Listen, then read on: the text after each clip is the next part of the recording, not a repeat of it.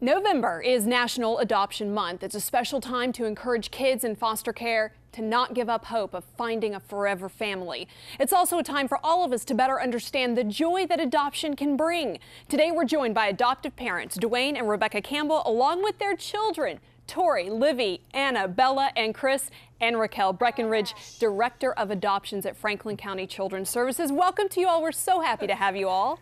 Thank you. Rebecca and Dwayne, let's start with you. You adopted three siblings. What was your big reason for doing that?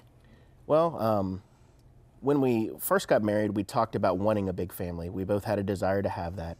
And after our second biological child, uh, Olivia, was born, uh, the doctors told us uh, there were some complications not to have anymore. Um, so we talked about it, we prayed about it, uh, we spent a lot of time considering it, and we just decided that um, you know, adoption was a, a, very viable way for us to build our family.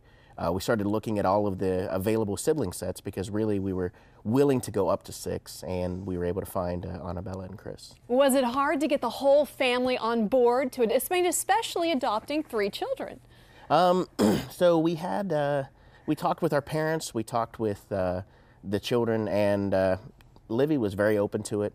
Um, Victoria, her one stipulation was she wanted to continue to be the oldest child. Oh, um, so sure. that kind of gave us an age group of, of what to look for um, because we didn't want to disrupt uh, or, or do something that they weren't uh, in agreement with. So yeah, that was really the, the only decisions we had to make.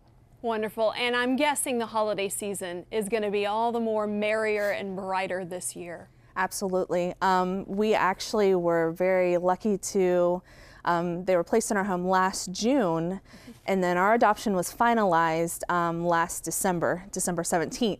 So we had them last Christmas, but it was very chaotic because we had our Forever Family Day and then we had Christmas, and they were telling us things like we've never had stockings before, we've never seen a Christmas tree before, and it was just wow. so heartbreaking. So just it was kind of chaos. So we're really looking forward to this year um, just enjoying. They're excited. They know it's coming, so it's really going to be special. I bet the kids are looking forward to it too.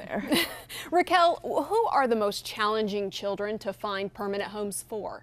Our teenage population is our young is, is our most difficult to place. Um, I would say age around starting around age 12 up to age 17, both male and female, and large sibling groups. And how badly do these older children want to find those forever homes? They they um, they really need homes. Um, they struggle with, of course, their um, knowing their biological family, but also wanting a permanent home. Um, someone that they, that they can go to, like she said, holidays, Christmases, um, college, and things like that. So they really struggle with finding the appropriate and a forever home that's going to love them no matter what. What makes your recruitment efforts for adoption so successful? I would say the dedication of our staff and their commitment to finding homes for these older youth. Also, our the Wendy's Wonderful Children, our child-specific recruiters, do a great job at helping us locate homes, and also that we uh, do national nationwide recruitment for our children.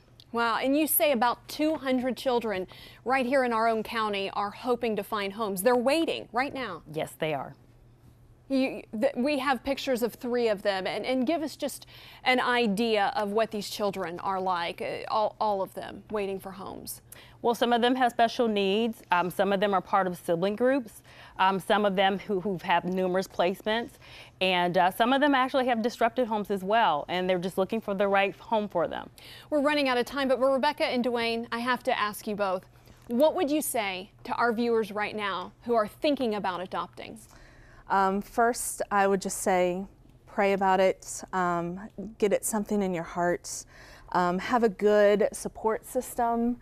Um, you know, all, there's so much negativity. I'm too old. You know, I, I, I have so many disabilities of my own. I could financially could not possibly take care of children. Those are all myths.